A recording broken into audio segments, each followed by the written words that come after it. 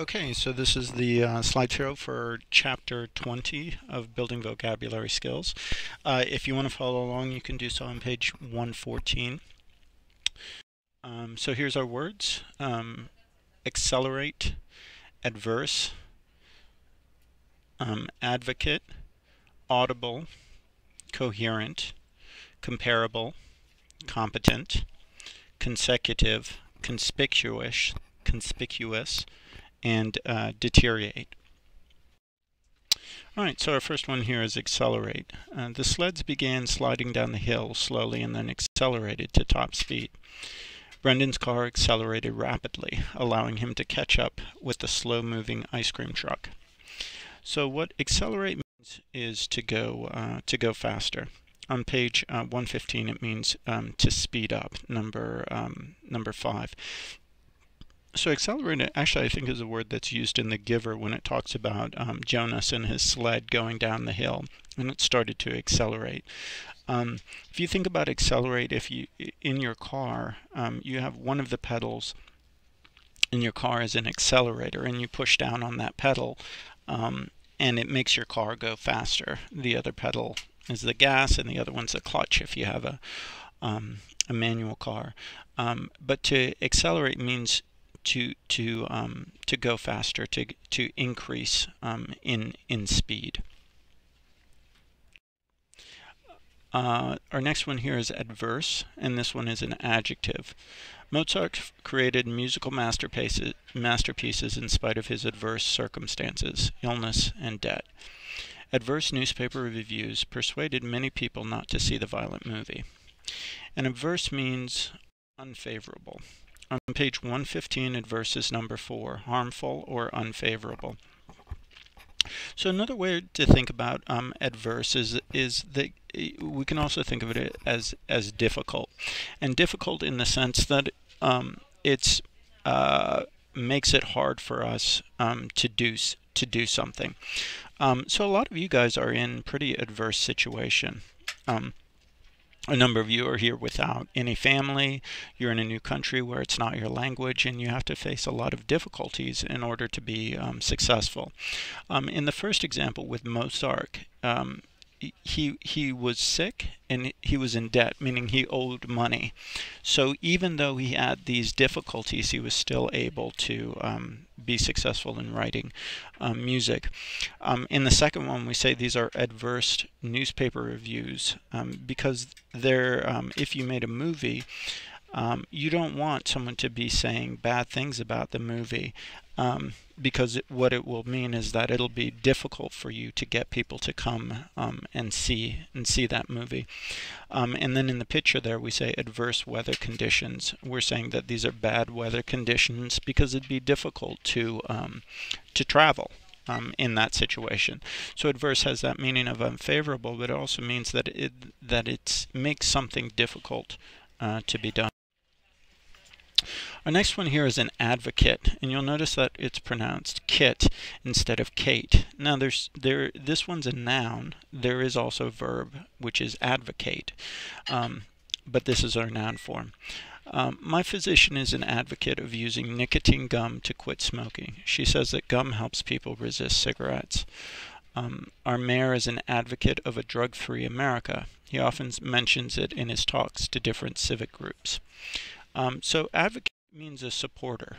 And you'll notice that in both of these ones we have of following it. It doesn't always have to be followed by of, but it often is. Um, so advocate on page 115 is number 8, a supporter, someone who argues for a cause. So um, I said that advocate is actually a verb, and advocate means that that you actively support something, meaning that you are pushing for something um, to to happen. Um, so an advocate is a person who actively supports some idea or some cause. So in the first example, the physician is an advocate of using nicotine gum. Um, what that means is that he or she, or in this case she um, actively encourages people to use nicotine gum in order to quit smoking. Um, in the second case, the mayor is an advocate of a drug-free America. It means that he is a um, supporter of this and he actively works to try and get um, people not to not to be um, on drugs. So one of the differences here between like an advocate and a supporter a supporter you can be passive you don't have to be active but an advocate is an active um, an active supporter Next word here is audible, and this is an adjective.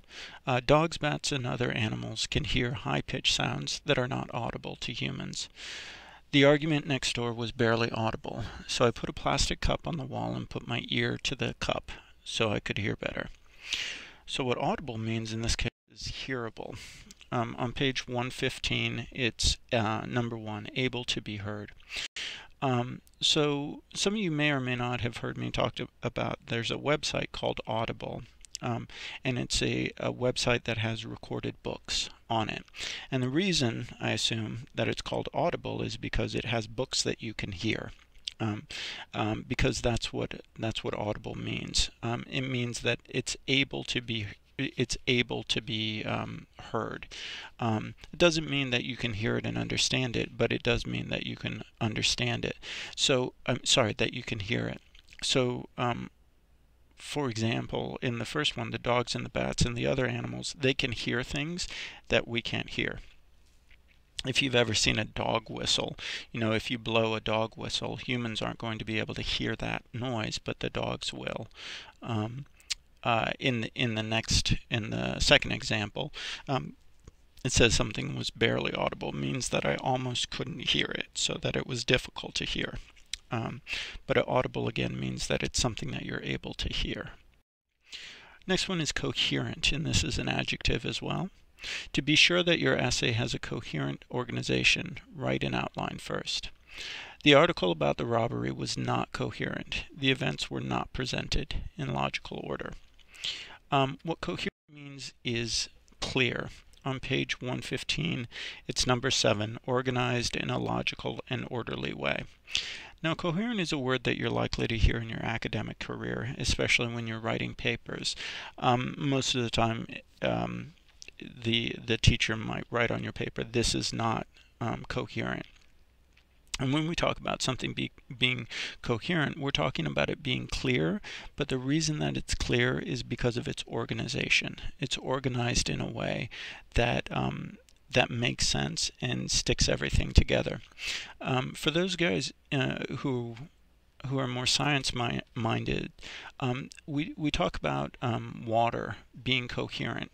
One of the things, one of the properties of water is that water um, sticks to itself. So, for example, um, and sticks to other substances. To, so, for example, if you take a um, glass and you fill it with water and you pour out the water, um, uh, sorry, this is a different meaning. That's cohesive.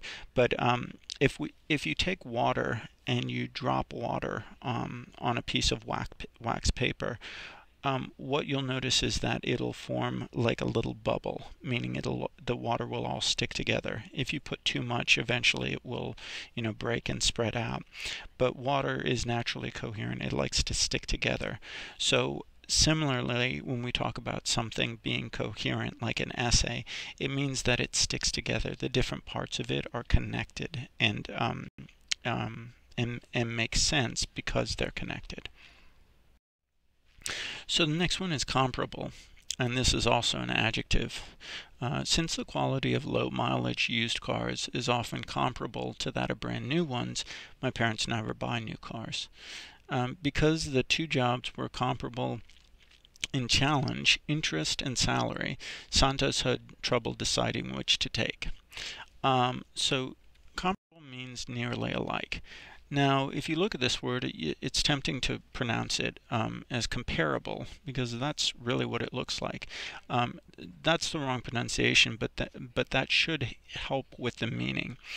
Um, when we say something's comparable, we mean that if we were to compare the two things, we would find a lot of similarities um, between them. Um, so when we talk about um, like compare contrast essays, when we say compare in that situation, we're talking about the similarities. Um, in number page 115, it's number three. Comparable means similar or able to be compared.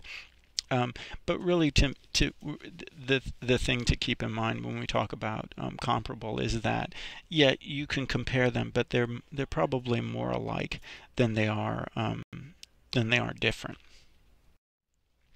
Next word is competent. Uh, this is an adjective. Some secretaries are more competent than their bosses. They know much more about the business, are better organized, and uh, work much harder. Uh, to be a competent juggler takes a lot of practice. Um, and what competent in this case means is skilled. Um, on page 115, competent is number 10, capable, well qualified, skilled. So um, I forget if it was in, I think it was with us, we had the word um, adequate. Let me just double check that. And no, that was a different class. Um, adequate means uh, good, en good enough. Um, competent has, is is a little bit better than uh, than adequate. Competent means that you are um, that you know how to do something and you know how to do it well. Um, so for the uh, in the first example, the secretaries are more competent than their bosses. They're actually better at their job than their bosses are. In the second one, to be a competent juggler, to be like a good juggler takes a lot of practice. Um, so competent has this meaning of um, being able to do something well. The next one's consecutive. So we have, uh, this is an adjective. Um, the reporters would work nights for two consecutive weeks, and then they'd work days for a month straight. Uh, first, Reiko had the flu. That was immediately followed by strep throat, which was followed by pneumonia. These consecutive illnesses kept her out of work for two months. So consecutive means happening in a um, happening in a row. On page 115, con uh, consecutive is number two, following one after another without interruption. So that's the important thing about consecutive, is means that they're following each other, but that there's no space between them. So for example, Monday and Tuesday are consecutive days, but we wouldn't say that Monday and Wednesday are consecutive, even though they're in one happens after the other. Consecutive is, means that they're right next to each other. Um, so in our first example, two consecutive weeks, um, they work nights. So that, that means for two whole weeks, they just work in the night. And then they work days for a month after that, for a whole month. Um, and in the uh, example, th these sicknesses the woman had came one after another, so there wasn't space between them. And that's why she was out of the office for two whole months. Our next one here is conspicuous. Um, and this is also an adjective. Nina's wide brimmed hat was so conspicuous that it's impossible not to catch sight of her in a crowd. The new skyscraper stands 50 stories high, making it the tallest and thus the most conspicuous building in the city skyline. So in this case, conspicuous means noticeable. Um, on page 115, it's obvious or easily noticed. Um, now, the word that is similar in some ways to this is the word prominent, which I believe is a word that, yeah, which is a word that we've had before. Um, but it doesn't mean exactly the same thing. Conspicuous means noticeable in that, um, uh, in, in a way that it sort of um, stands, that it stands out, that it's, it's noticeable because it's different from the things around, uh, um, things around it. So in the first example, this woman wears this big red hat. So it's it's very obvious to see her because she because it's something that stands out from the crowd that makes it makes her look different. Um, in the in the second one um, the, this new skyscraper um, is 50 stories high um, meaning it's taller than everything out everything else. Um, so it sort of um, stands out from everything else all right, and here our last word is uh, deteriorate, and this is a verb. Um, over many years, the abandoned house had deteriorated um, until its walls crumbled and its floorboards rotted. Uh, Tanya's health continued to deteriorate until her classmates started to visit her regularly. Then she began to improve. So deteriorate means to decay. Um, on page 115, it is number 9, to become worse, become weaker, or damage. So deteriorate really means that, that something, um, something is, is going from good um, to bad or from okay to bad. And it really has that meaning of um, breaking, breaking down, um, falling apart. Uh, so in the first example, the house is deteriorated, uh, meaning so the walls are falling apart, they're crumbling, and the floorboards are rotting apart. If we look at the picture, we see that the road is deteriorating, it's, so it's actually breaking up. Um, when we talk about health, we can say our health deteriorated means that you're getting weaker and weaker and weaker, and that you're not you're not improving, that you're getting sicker and sicker, and that your body is um, is um, breaking up. Okay. So let's take a look at the um, sentence check. You can switch over to page 116 for this. So this first one here, Dee doesn't like to be blank. So she sits in the back of the classroom where few people can see her. Right? So if she doesn't want uh, she doesn't want to be seen. So what word means that you're easily seen? Um, anyone can be a blank cook, but few people develop into great chefs. All right, so here, this, this is an example um, uh, that sort of goes against what I said earlier, but this one says anyone can be good at doing uh, good at doing uh, cooking, but not great at doing it. First one is conspicuous, right? She doesn't want to stand out. She doesn't want to be noticeable. So she sits in the back. And in the second one, um, it's about being competent, meaning that she's good at cooking, that she's capable at cooking, that she's skilled at cooking. Um, but to become great is a, a different thing. All right, the weather was bad and two of the astronauts were sick. Because of these blank conditions, the shuttle was canceled. Okay, so if you think about these conditions, the weather being bad and the astronauts being sick, are these good? Are these good conditions? Are these favorable conditions um, to launch a spaceship or are they unfavorable? Uh, since I care about the environment, I'm a blank of passing laws that limit the pollution in the air. Okay, so I care about the environment, so I'm going to do something about it. So what what does that mean if I if I do something? Um, for a certain cause, if I support a certain cause. When the comedian sensed his audience was becoming bored, he blanked his pace to more jokes per minute. So his audience is becoming less interest, so he started to go faster. He's having more jokes, um, uh, more jokes uh, every minute.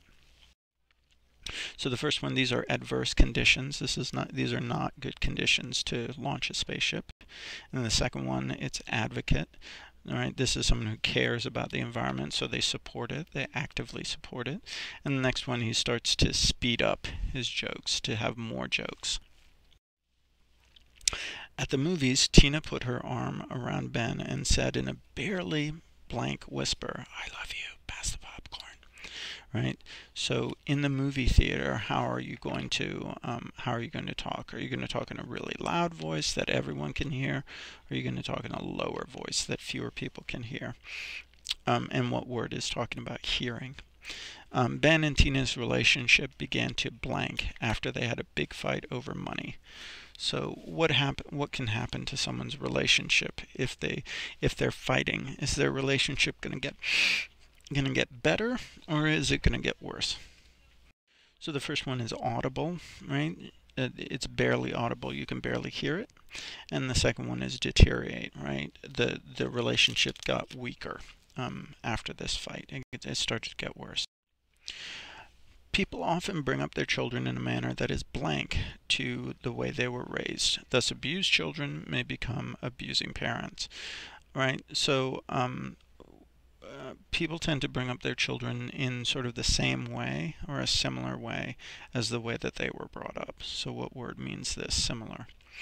Um, during her high fever, Celia loudly called out broken words and phrases. She seemed unable to speak full blank sentences. So in this one, it's saying broken words and um, phrases. So it's like her um, what she was saying wasn't clear because it didn't it didn't it, it didn't hold together. It wasn't one solid solid piece. Uh, there was no break in the summer's heats. Records were set nationwide for the number of blank days above 90 degrees. Um, so th the the the weather was really bad um, for a period of time for several days that were happening right after um, one after another. So the first one is comparable, right? The the way that they were raised is similar to the way they raise their children. Um, and the second one, it's coherent, right? She has broken words and phrases, so it's not an organized or clear way of speaking. And the last one is um, consecutive days. So these are days that followed one after another without any interruption. All right, so um, go ahead and take a look at um, the online activities, um, give a shot at the, the questions, and we'll review them in class. Take care. Bye.